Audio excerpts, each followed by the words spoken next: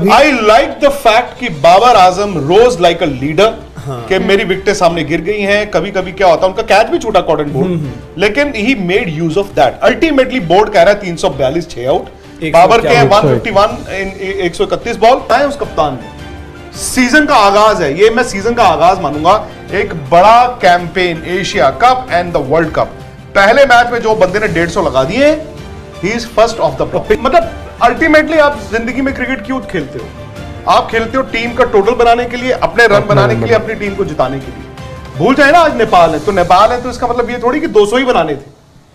डेढ़ सौ रन जिस तरह से उन्होंने आखिरी सौ रन बनाए आखिरी सौ रन आप बता रहे हैं तकरीबन सत्तावन गेंदों में बनाए हाँ, जो लास्ट उन्होंने सौ तो बिज़नेस लाइक है भाई बाबर आज़म की एक सिफत है उनको रन बनाने का तरीका आता है। ठीक है लोग कह सकते हैं कि जी इसमें से ज़्यादा इस टीम के खिलाफ है उस टीम के खिलाफ है। बट जिस भी टीम के खिलाफ खेलोगे रन तो रन ही है। सौ तो गिने ही जाते हैं। पर बाबर ने भी पहले मैच में सौ बनाया है। और मैं इस एशिया कप को वर्ल्ड कप के साथ जोड़ता हूँ। ये कैंपेन सिर्फ़ एशिया कप का नहीं है ये वर्ल्ड कप का भी है। क्योंकि ये एशिया कप किसी वर्ल्ड कप से कम तो नहीं है।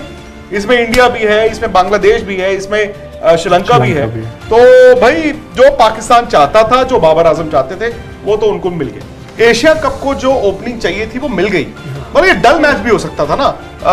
With due policy to Nepal suppose Nepal ने पहले बैटिंग की होती उनके डेढ़ सौ पौने दो सौ रन होते तो एक डल मैच होता। बाबर आज़म ने इस एशिया कप में जो तड़का चाहिए था वो लगा दिया। दिया। उन्होंने एशिया कप को भी लगा दिया उन्होंने पाकिस्तान को भी लगा दिया और कहीं ना कहीं इंडिया वर्सेस पाकिस्तान पाकिस्तान ने टेंपो सेट कर दिया बिकॉज़ इंडिया पहला मैच खेल रहा होगा। इंडिया की दिक्कतें हैं इंडिया की प्रॉब्लम्स हैं ग्यारह क्या होगी बैलेंस क्या होगा? फलाना अंदर फलाना बाहर उसको चोट लगी है। पाकिस्तान आज से छह महीने पहले लग रहा था पता नहीं कैसी तैयारी होगी। उनका बैटिंग ऑर्डर सेटल्ड है। उनका बॉलिंग ऑर्डर सेटल्ड है। पाकिस्तान को दिक्कत नहीं आती ग्यारह चुनने में। भाई आज भी हम जब बात करते हैं इंडिया की तो हम 11 पे प्रोबेबिलिटीज की बात करते हैं ना। यार कौन कौन सा कौन से नंबर पे खेलेगा? और आपका पहला ही मैच एशिया कप में किसके साथ है? पाकिस्तान के साथ। सो आई थिंक पाकिस्तान को ये एडवांटेज है कि they have set the tempo और पहले मैच में अगर आपने साढ़े तीन सौ रन बना दिए, तीन सौ बयालीस। भाई, जो भी है, आपने ए, पाकिस्तान ने इंडिया पे